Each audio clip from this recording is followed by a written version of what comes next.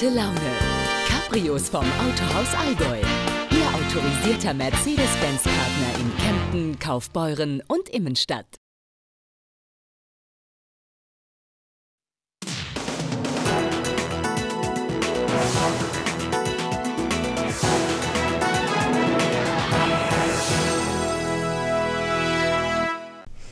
Es ist Dienstagabend, Zeit für Ihren Regionalsender für TV Allgäu Nachrichten. Das sind heute unsere Themen. Vom Umweltminister für gut befunden. Eine neue Messstation in Oberjoch zeigt künftig an, wie gut die Allgäuer Luft wirklich ist. Rasende Bierkisten. Azubis arbeiten für die Running Box Meisterschaft nach einem etwas anderen Lehrplan und das Abenteuer kommt aus dem Allgäu. Ein Blick hinter die Kulissen eines Spielgeräteherstellers. Über 90 Geschäfte, Cafés und Restaurants. Über 1000 Parkplätze. Montag bis Samstag bis 20 Uhr geöffnet. Darum ins Forum. Forum Allgäu, mitten in Kempten. Ein Allgäu ohne Gentechnik, das ist das erklärte Ziel der Initiative Genial. Die Chancen, dieses Ziel zu erreichen, stehen gut, denn der Landkreis Oberallgäu ist bereits gentechnikfreie Region und auch das Ostallgäu ist auf dem Weg dorthin. Aber mit dem Allgäu allein soll nicht Schluss sein. Am liebsten wäre es der Initiative, wenn ganz Bayern auf die grüne Gentechnik verzichten würde. Und aus eben diesem Grund hat man nun gestern dem bayerischen Umweltminister Markus Söder eine Unterschriftenliste übergeben. Einer von zwei Terminen, die der Minister gestern in Oberjoch hatte. David Jo und Markus Wessely berichten. 6500 Unterschriften für eine gentechnikfreie Landwirtschaft. Die hat die Initiative Genial gestern dem bayerischen Umweltminister Markus Söder überreichen können. Gesammelt wurden die Unterschriften im Laufe des letzten Jahres, unter anderem auf der Allgäuer Festwoche. Das Ziel der Staatsregierung klarmachen, dass gentechnisch verändertes Saatgut nicht erwünscht ist. Ein Thema, mit dem man bei Söder offene Türen einrennt. Ich bin ein grundlegender Skeptiker gegenüber der grünen Gentechnik. Ich möchte ein Gentechnik-anbaufreies Bayern haben. Zum einen einmal, weil es hier um die Bewahrung der Schöpfung geht. Die Risiken dieser Auskreuzungsproblematiken, also der Übertragung von gentechnisch veränderten Saatgut auf andere Pflanzen, einfach nicht ausgeschlossen ist. Und auch, weil es, glaube ich, aus ökonomischer Sicht der falsche Weg ist. Denn es gibt äh, einen klaren Weg auf da. Ich möchte, dass Bayern der Feinkostladen Deutschlands wird mit Gentechnik frei produzierter äh, Nahrungsmitteln. Die anderen Bundesländer können ja wegen mir anders anbauen. Aber wir sollten wirklich hoch hochwertige Nahrungsmittel anbauen und die müssen einfach gentechnikfrei sein. Die Unterschriftenübergabe war gestern aber nur der Auftakt der Oberjochreise des Ministers. Denn eigentlich war er vor allem wegen eines anderen Themas gekommen. Die Einweihung der neuen Luftmessstation an der Alpenklinik Santa Maria. Ab sofort wird die Messstation regelmäßig die Luftqualität überprüfen und die Ergebnisse dann an eine Zentrale übermitteln. Während die meisten der insgesamt 57 Messstationen im Freistaat an belasteten Standorten wie München, Augsburg und Nürnberg stehen, wurde die neue Station bewusst in den Kurort Bad Hindelang-Oberjoch gesetzt. Das ist ein bewusstes äh, Konzept, zum einen einmal natürlich im gesamten Alpenverbund die Luftsituation zu bemessen, weil wir hier deutliche Klimaveränderungen haben, aber vor allem auch zu zeigen, dass wie gut die Luft hier ist. Man darf solche Stationen nicht immer nur deswegen einführen, weil man ähm, jetzt sozusagen das Negative herausstellen will, sondern auch mal die positive Situation. Und gerade hier ist es natürlich gerade für den Bereich Allergie, für die Medizin, für den Gesundheitsstandort eine ganz wichtige Komponente, auch ein Stück Unterstützung. Deswegen glaube ich, ist hier der richtige Ort gewählt. Für Oberjoch ist die neue Messstation, das wurde gestern mehrfach betont, eine Chance. Gerade in Verbindung mit der Alpenklinik dokumentiert die Station ab sofort die hohe Luftqualität am Gesundheitsstandort Oberjoch. Äh, wir wollen natürlich auch damit äh, profitieren, nicht nur im Oberjoch, insgesamt im Oberallgäu, in Bad Hinterlang und in der ganzen Alpenregion und das auch äh, ausnutzen, der Bevölkerung und den Menschen auch klar machen. Hier haben wir noch zur Erholung eine besonders gute Luft und das wird eben mit so Messstationen dokumentiert und es soll einfach nicht nur das Negative gemessen werden, sondern auch einmal das Positive.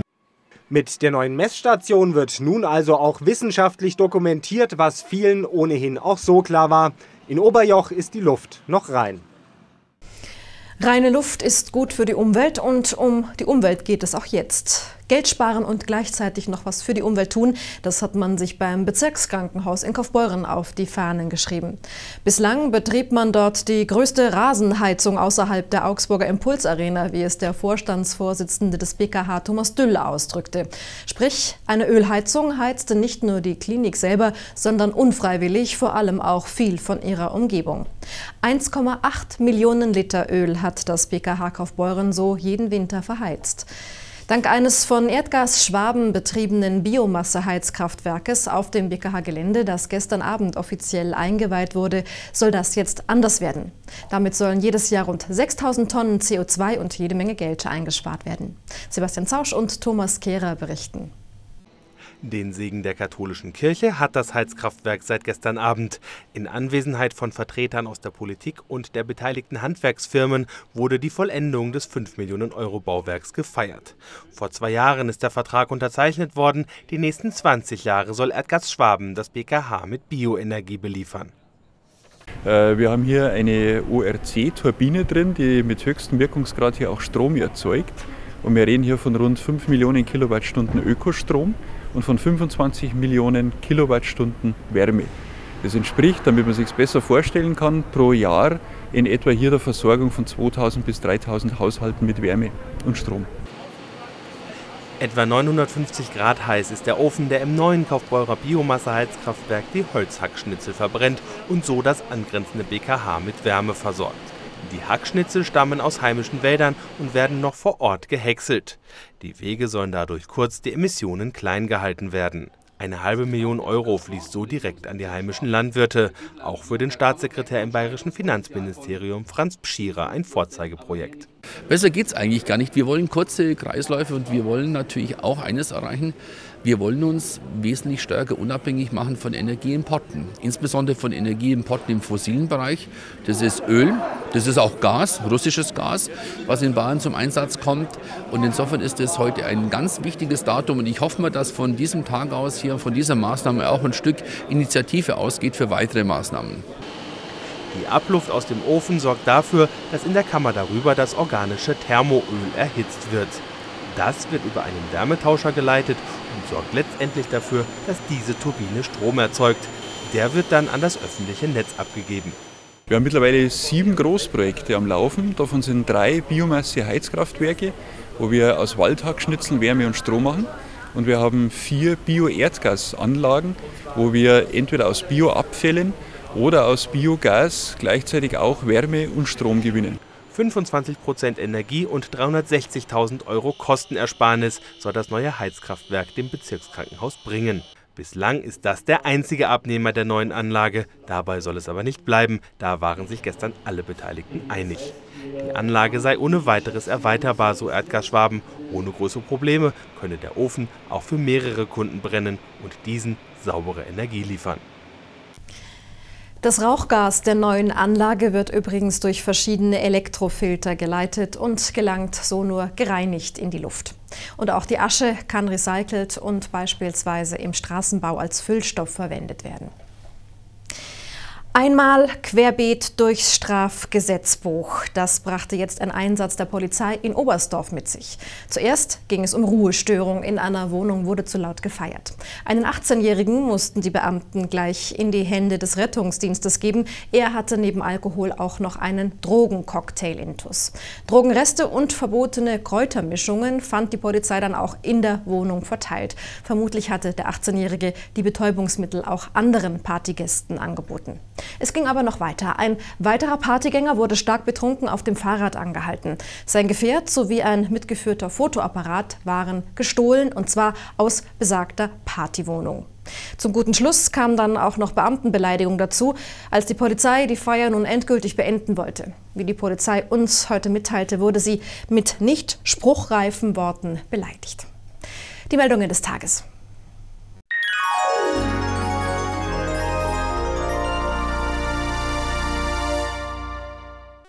Die Allgäuer Freilichtbühne in Altusried. Einzigartiger Schauplatz für bewegende Momente. Lassen Sie sich verzaubern von der großen Altusrieder Märchenproduktion Aschenputtel. Noch bis 11. Juli auf Süddeutschlands größter Freilichtbühne. Informationen und Kartenbestellung unter Altusried 92200.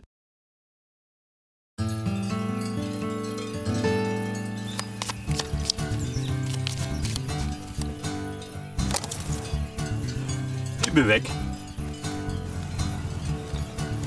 Weiter. Ich bin. Und du? Hast du ein Blatt? Immer ein gutes Blatt.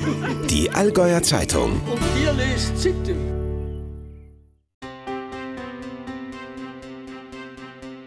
Was haben diese Gastronomen alle gemeinsam? Sie alle vertrauen auf die Qualität von Hosp Weine Markt Oberdorf. Ihre Gastronomie im Allgäu freut sich auf Sie.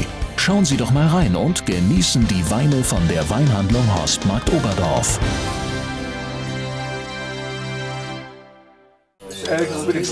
Bestellen Sie jetzt Ihr Probeabo für zwei Wochen kostenlos. Telefonisch unter 0831 206 106 oder online unter www.all-in.de. Natürliche Wärme aus der Luft, der Erde, dem Wasser.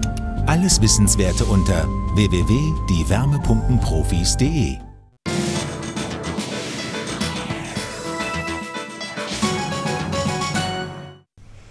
Die Meldungen des Tages. Auf dem Herd vergessenes Essen hat gestern Abend in Kempten zu einem Großeinsatz der Feuerwehr geführt. Eine 19-jährige Schülerin hatte einen Topf auf der eingeschalteten Herdplatte vergessen. Der Topf entzündete sich und verrauchte die ganze Wohnung. Der achtjährige Bruder und eine 20-jährige Freundin, die sich mit dem Mädchen in der Wohnung aufhielten, erlitten leichte Rauchvergiftungen. Alle drei mussten zur Beobachtung ins Klinikum Kempten eingeliefert werden. Der Sachschaden beläuft sich auf etwa 10.000 Euro. Ein ganzes Arsenal an Waffen hat die Polizei jetzt bei einem 56-jährigen Mann in Sonthofen sichergestellt.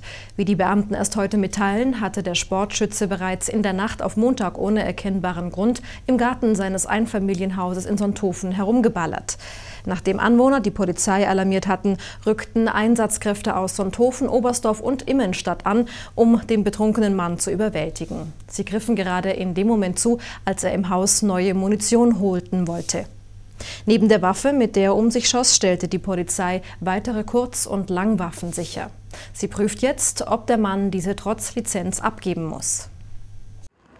Das Hochwasser in Lindau hätte auch schlimmer kommen können, so der gemeinsame Tenor bei einem für heute einberufenen Pressegespräch. Neben Oberbürgermeisterin Petra Seidel waren auch Vertreter der Feuerwehr, des Wasserwirtschaftsamts und der Stadtentwässerungswerke anwesend. Vor allem im Bereich der Achstraße hätte der Hochwasserschutz Schlimmeres verhindert. Gut zwei Drittel der Maßnahmen dort seien aber schon fertig. Wenn wir das insgesamt dann haben, dieses Gesamtmaßnahmenpaket, dann denke ich, äh, werden so hoffentlich mal die Gummistiefel äh, vielleicht der Vergangenheit angehören. Bin aber da sicherlich auch ein bisschen vorsichtig und sage, wenn solche Ladungen runterkommen, nicht, da lässt es sich natürlich nicht vermeiden, dass dann mal ähm, es feucht wird. Aber wie gesagt, äh, im Vergleich 2.2 zu jetzt äh, sehr deutlich, die Maßnahmen waren richtig, die wir ergriffen haben. Sie haben auch gegriffen, zeigen aber auch die Notwendigkeit fortzusetzen. Bis 2012 sollen die Hochwasserschutzmaßnahmen inklusive Rückhaltebecken abgeschlossen sein. Am Freitag waren bei den Stadtentwässerungswerken Lindau rund 1000 Liter in der Sekunde durchgeflossen. Regulär liegt der Wert bei Regenwetter bei 300 bis 350 Liter in der Sekunde. Der Deutsche Gewerkschaftsbund im Allgäu hofft beim Kampf gegen das Sparpaket auf die Unterstützung der Gemeinden. Das von der Bundesregierung geplante Paket sei eine himmelschreiende Ungerechtigkeit, bei dem die sozial Schwachen das ausbaden müssten, was uns das größenwahnsinnige Gewinntreiben vieler Unternehmen, Banken und Spekulanten eingebrockt habe, so der DGB bei einem Treffen in Kaufbeuren. Die finanziell sowieso schon gebeutelten Kommunen würden durch das Sparpaket zusätzlich belastet. Bei ihnen als letztem Auffangnetz würden die, die auf der Strecke bleiben, vor der Tür stehen. Deshalb wolle man an die Bürgermeister der Region herantreten, um zu prüfen, wie man gemeinsam gegen die Aushöhlung der kommunalen Selbstverwaltung angehen könne, so der DGB. Der Mann, der am Sonntagnachmittag eine Tankstelle am Kemptener Schuhmacherring überfallen hat, ist jetzt von der Polizei gefasst worden. Der 22-Jährige hatte die Tankstelle, in der sich neben zwei Angestellten noch einige Kunden aufhielten, gegen 14.20 Uhr betreten. Zunächst forderte er die Kundschaft auf, die Tankstelle zu verlassen. Anschließend richtete er seine Waffe auf die beiden Angestellten und verlangte das Geld aus der Kasse. Danach flüchtete er zu Fuß mit den Tageseinnahmen. Kurze Zeit später wurde er im Bereich des Ostbahnhofs festgenommen. Die Beute, die er noch bei sich hatte, konnte vollständig sichergestellt werden. Der 22-Jährige wurde dem Haftrichter vorgeführt, gegen ihn wurde Haftbefehl erlassen. Die baden-württembergische Landesgartenschau findet im Jahr 2024 in Wangen statt. Das hat der Ministerrat heute in Stuttgart bekannt gegeben. Für die Gartenausstellung soll das Erba-Gelände saniert werden, eine alte Industriebrache, die sich im Besitz der Stadt befindet. Dort sollen dank eines Zuschusses von 5 Millionen Euro weitläufige Grünflächen entstehen. Wangen hatte sich bereits um die Landesgartenschau im Jahr 2016 beworben, war vorerst aber nicht zum Zug gekommen. Soweit unsere Nachrichten vom 22. Juni. Das Wetter. Top-Marken zu Fabrikverkaufspreisen im Allgäu Outlet in Sonthofen. Viele Artikel bis zu 70% reduziert. Outlet-Shopping für die ganze Familie und jeden Geldbeutel. Heute Nacht ist es in der gesamten Region teils klar und kühl. Die Temperaturen liegen um die 12 Grad. Der Mittwochmorgen startet dann erneut sehr kühl mit Werten um 9 Grad. Am Nachmittag sind dann trotz Nordostwind wärmere Temperaturen zu erwarten. Es bleibt sonnig, nur vereinzelt zeigen sich Quellwolken. Das Quecksilber steigt auch am Donnerstag weiter. Mit Höchstwerten von 24 Grad kehrt der Sommer zurück ins Allgäu. Am Freitag gibt es dann erste lokale Hitzegewitter. Es bleibt aber angenehm warm. Der Samstag bringt einen Mix aus Sonne und Wolken. Die Temperaturen liegen zwischen 24 Grad am Alpenrand und 26 Grad im Unterallgäu. Rasende Bierkisten, die bis zu 120 km/h schnell werden können, mit Azubis obendrauf. Das gibt es nächsten Samstag auf dem AMC-Gelände am Allgäu Airport in Memminger Berg zu sehen. Bereits letztes Jahr wurde hier zum ersten Mal die sogenannte Running Box Meisterschaft ausgetragen. Auch dieses Jahr soll das etwas andere Motorsport-Event starten. Die Regeln? Azubis müssen aus einer Getränkekiste ein Fahrzeug bauen. Aus solchen bereits geleerten Getränkekisten entstehen in vielen bayerischen Betrieben derzeit etwas andere Flitzer. Es wird noch fleißig getüftelt, wie beispielsweise hier bei der Firma Christ im Unterallgäuer Benningen. Mithilfe eines selbstkonstruierten Fahrgestells und eines Verbrennungsmotors haben diese sieben Azubis, alle aus dem ersten Lehrjahr, eine Runningbox gebaut und zwar alleine. Die müssen also alles selber machen. Die haben natürlich die Möglichkeit, sich bei den einzelnen Fachabteilungen in der Firma äh, Hilfe zu holen und da vielleicht auch mal das eine oder andere Teil in Auftrag zu geben. Ansonsten machen die alles selber. Man kriegt einfach ein bisschen was mit, mit den ganzen ja, technischen Sachen. Man kann da selber dran was arbeiten. Das motiviert einen auch, wenn man dann hinterher ein Rennen fahren kann und einfach ein Ergebnis dabei sieht.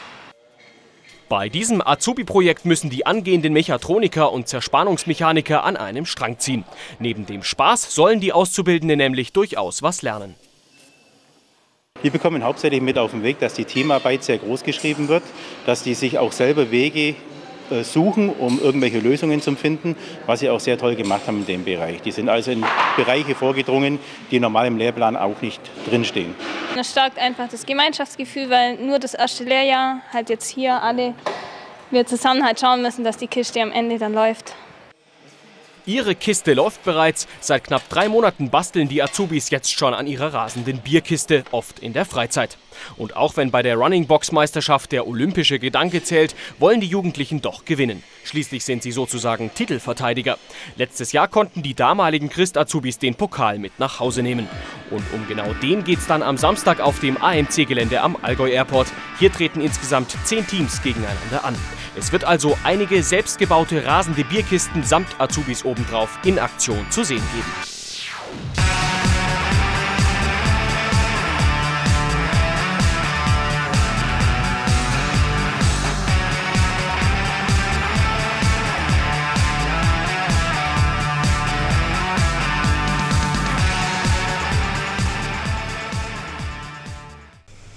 Die Running Box Meisterschaft am Samstag. Ein Bericht von Anselm Stern und Marco Zannoni.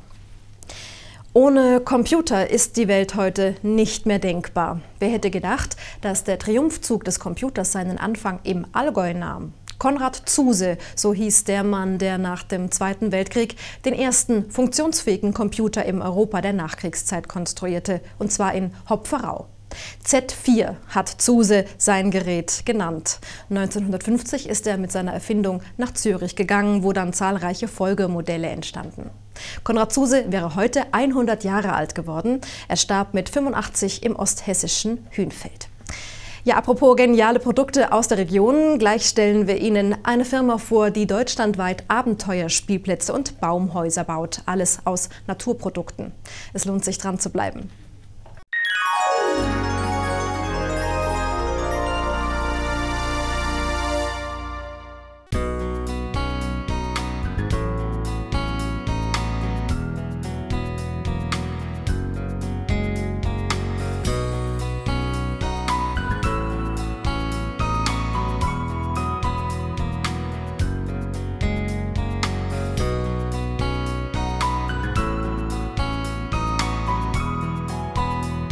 Traumhaft Reisen mit Arnold, Ihr Reisepartner in Dietmannsried. Hallo, guten Abend.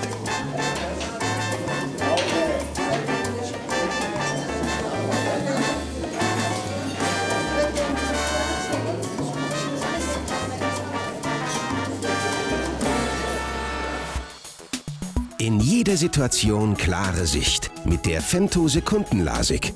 Informieren Sie sich jetzt über diese hochpräzise, vollständig lasergesteuerte Augenbehandlung. Denn Sehschärfe ist Lebensqualität. Stein, Wasser, Kunst. Wir bieten Ihnen über 100 Brunnen- und Wasserspiele aus Meisterhand in unserer Ausstellung. Brunnencenter Allgäu, Jocham Natursteine in Durach. Neu gestylt in den Sommer. Die große Umstyling-Aktion bei TV Allgäu und Partnern. Bewerben Sie sich oder melden Sie Freunde und Kollegen an. Weitere Infos auf unserer Homepage www.tv-allgäu.de. Treffpunkt Freizeit. Geschichten und Berichte aus unserer Heimat. Tourismus und Freizeit. Kultur und Brauchtum. Sehen, was das Allgäu bewegt. Wir sehen uns im Treffpunkt Freizeit.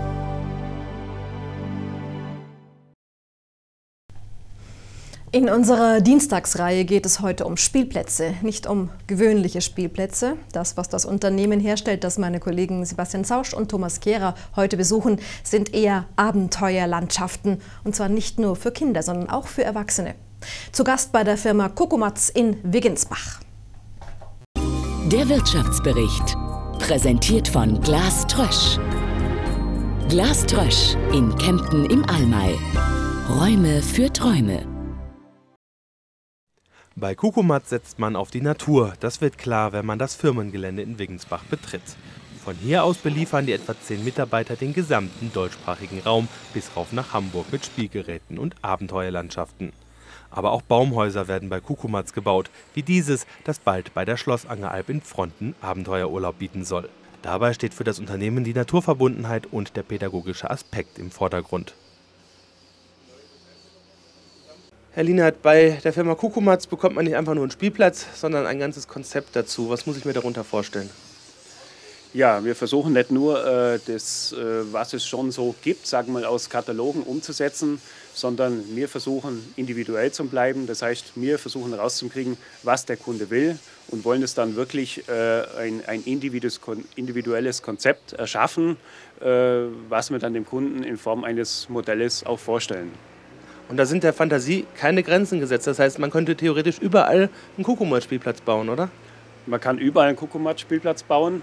Äh, je ausgefallener ja, oder je interessanter das Projekt ist, desto äh, mehr fordert uns die ganze Sache und desto interessanter ist es auch für uns. Und ja, äh, wir lieben die Herausforderung. Sie sind unter anderem zum Beispiel dabei beim Baumwipfelpfad in Scheideck. Genau. Äh, es entsteht ein großer Baumwipfelpfad, wo die Leute in 30, 40 Meter Höhen durch die Baumkronen auf Stegen wandern können. Und Kukumatz äh, macht zu diesem Baumwipfelpfad äh, das ganze Spielplatzkonzept und die ganze erlebnispädagogischen Elemente und auch äh, Ausstattungen für die Wanderwege, was dort dazukommen. Die Entwicklung einer Abenteuerlandschaft beginnt bei diesen Damen. Sie haben sowohl einen künstlerischen als auch einen landschaftsgärtnerischen und pädagogischen Hintergrund und liefern die Ideen für die Projekte. Die werden dann zunächst als Modell angefertigt. Umgesetzt werden die Ideen dann hier in der Werkstatt. Jedes der Spielgeräte ist ein Unikat, jeder Abenteuerpark wird auf die speziellen Gegebenheiten und Anforderungen hin geplant. Hier entsteht gerade eine Schaukel. Als Baustoff benutzt Kukumatz vor allem Eiche und Rubinie. Die entwickeln eine spezielle Gerbsäure, die sie vor Verwitterung schützt. Die Spielgeräte sind dadurch haltbarer und der Anstrich dient nur ästhetischen Gründen. Die verwendete Farbe ist ungiftig sowie speichel- und leckecht. Darauf legt das Unternehmen Wert. Herr Lienert, wo sitzen wir gerade drin? Ja, wir sitzen hier in meinem Badezuber. Äh, hat eine ganz wilde Geschichte. Ich bin über Land gefahren, ich komme ziemlich viel rum und habe in einem ehemaligen Betonwerk so einen Stahlkessel stehen sehen und im Vorbeifahren dachte ich mir doch irgendwie eine tolle äh, Kombination zwischen unserem ja, Holz und, und diesem, diesem verrosteten Stahl. Äh, habe dann irgendwann ausfindig gemacht, wem dieser Kessel gehört und habe dem den Stahlkessel abgekauft, damit heimtransportiert und dann kam die Idee, den hier einfach mit dem Schneidbrenner aufzumachen, diese äh, alten Wagennarben damit einzuschweißen und aus diesem ganzen Ding einen Badekessel zu machen. Das heißt, äh, gerade so ja, ein paar Mal im Jahr, besonders an Silvester, ist hier immer großes Anbaden angesagt. Der Kessel wird mit Wasser gefüllt und äh, unten mit dem richtigen Feuer praktisch angeheizt. Und hier kann man sich auch bei Minusgraden und dichtem Schneefall kann man sich hier drin richtig schön kochen. Ähm, entstehen so die besten Ideen, dass man einfach über Land fährt, Dinge sieht und dann einem eine Idee kommt für ein neues Projekt? Ja, kann man schon so sagen, weil daheim bist du doch immer eingespannt. Du hast ja auch so deinen, deinen Alltagstrott. Und äh, wenn du über Land fährst, dann ist einfach mal der Kopf frei und so entstehen einfach, einfach viele wilde Gedanken. Äh, Sie haben gesagt, vom Anbaden gerade gesprochen, hier in diesem Zuber. Ähm, passiert sowas auch im Team oder wie wichtig ist das Team für die Firma? Das Team ist eigentlich das Wichtigste. Äh, wir verstehen uns untereinander eigentlich super, sonst würde das Ganze nicht funktionieren.